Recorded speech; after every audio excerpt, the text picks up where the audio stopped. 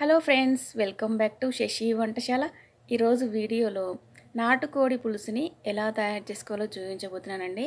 నాటుకోడి పులుసు అనేది స్పెషల్గా టేస్టీగా సూపర్ టేస్టీ నాటుకోడి పులుసుని ఎలా చూపించబోతున్నాను. మరి ఇంకెందుకు ఆలస్యం? వీడియోలోకి వెళ్ళిపోదాం. ఇప్పుడు మనము ముందుగా ఒక హాఫ్ కేజీ నాటుకోడి చికెన్ తెచ్చుకోవాలండి.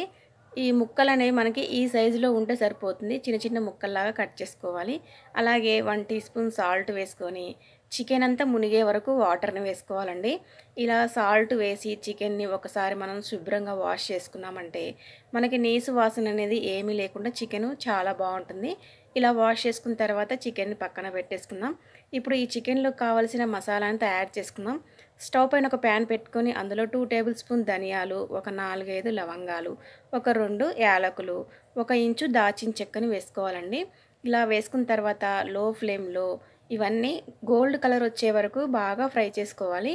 ఇలా మసాలా దినుసులని బాగా ఫ్రై అయిన తర్వాత ఒక ప్లేట్లోకి ట్రాన్స్ఫర్ చేసుకోవాలి.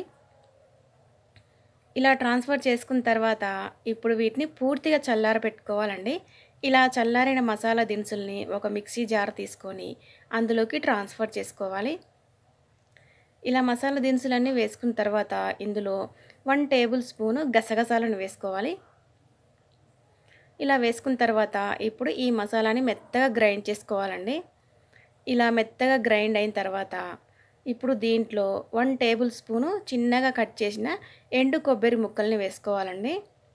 ఇప్పుడు వీటిని కూడా మెత్తగా గ్రైండ్ చేసుకొని మసాలాని రెడీ చేసి పక్కన పెట్టుకోవాలి. మసాలా మనకి రెడీ అయిపోయిందండి. నెక్స్ట్ మనం కర్రీ ప్రాసెస్ చూసేద్దాం. ముందుగా స్టవ్ పైన ఒక ప్యాన్ పెట్టుకొని అందులో త్రీ టేబుల్ స్పూన్స్ ఆయిల్ వేసుకోవాలి. ఆయిల్ వేసుకున్న తర్వాత ఆయిల్ బాగా హీట్ అయిన తర్వాత ఇందులో వన్ టేబుల్ స్పూన్ పోపు దినుసులు వేసుకోవాలి. అలాగే ఒక కప్పు సన్నగా తరిగిన ఆనియన్స్ని వేసుకోవాలి.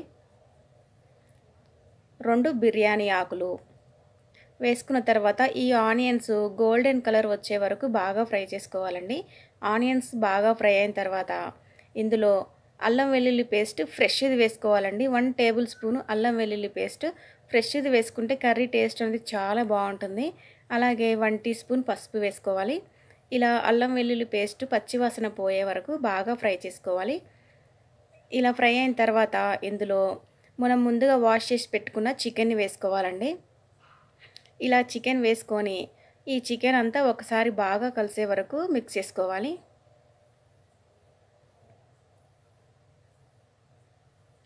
ఇలా చికెన్ అంతా బాగా మిక్స్ అయిన తర్వాత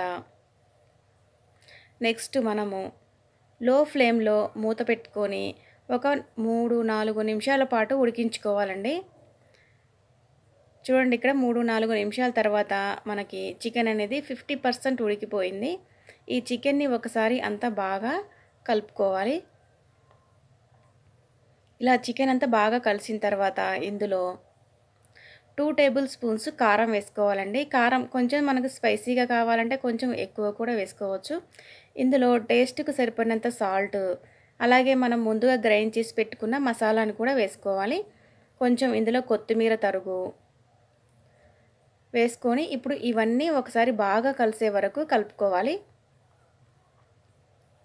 ఇలా చికెన్ అంతా బాగా కలిసిన తర్వాత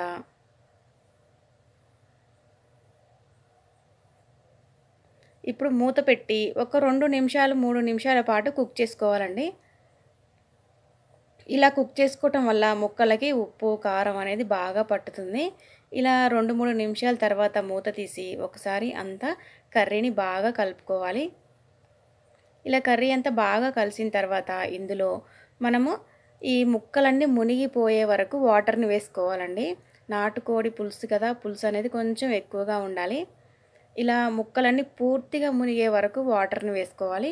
వేసుకొని ఇప్పుడు ఈ కర్రీ అంతా బాగా ఒకసారి మిక్స్ చేసుకోవాలండి.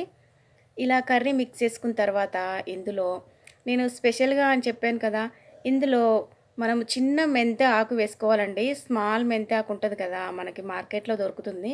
ఇలా చిన్న మెంతి ఆకులను తీసుకొచ్చుకొని మనం ఈ కర్రీలో వేసుకోవాలంటే వేసుకుంటే టేస్ట్ అనేది చాలా బాగుంటుందండి.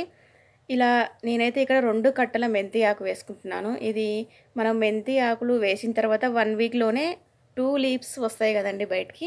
అలా వచ్చిన మెంతి ఆకు అనేది ఇది. చాలా లేతగా టేస్ట్ అనేది చాలా బాగుంటుందండి ఇది వేసుకుంటే. ఇలా మెంతి ఆకు తెచ్చుకొని ఇలా సన్నగా కట్ చేసుకోవాలండి.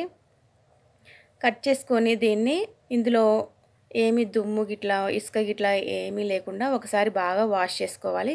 మనము ఈ మెంతి ఆకులు అనేది గ్రీన్ కలర్ పార్ట్ వరకే కట్ చేసుకోవాలండి. వైట్ కలర్ పార్ట్ అనేది తీసేసేయాలి.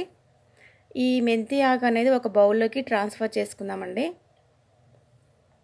చేసుకొని వాటర్ వేసి ఈ వాటర్ అంతా పోయే వరకు డ్రైన్ చేసుకోవాలండి.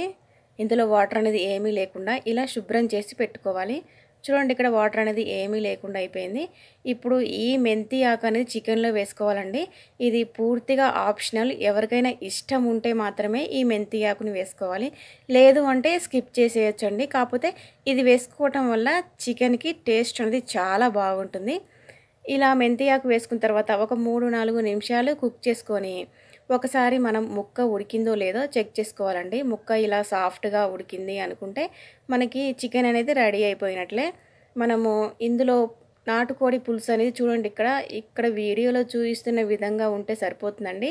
మరీ నీళ్ళలాగా కాకుండా మరీ చిక్కగా కాకుండా ఈ స్టేజ్లో ఉండగానే స్టవ్ ఆఫ్ చేసుకొని కొంచెం కొత్తిమీరని చల్లుకొని సర్వింగ్ బౌల్లోకి తీసుకొని సర్వ్ చేసేసుకోవడమే అండి. ఎంతో టేస్టీగా ఉండే నాటుకోడి పులుసు అనేది రెడీ అయిపోయింది ఫ్రెండ్స్. ఇది చాలా అంటే చాలా బాగుంటుంది. మీరు కూడా ఒకసారి తప్పకుండా ట్రై చేయండి ఫ్రెండ్స్. మరి మీకు ఈ వీడియో నచ్చినట్లయితే తప్పకుండా లైక్ చేసి షేర్ చేయండి. నా ఛానల్ ఎవరైనా ఫస్ట్ టైం చూస్తున్నట్లయితే సబ్స్క్రైబ్ చేసుకుని థ్యాంక్ యూ ఫర్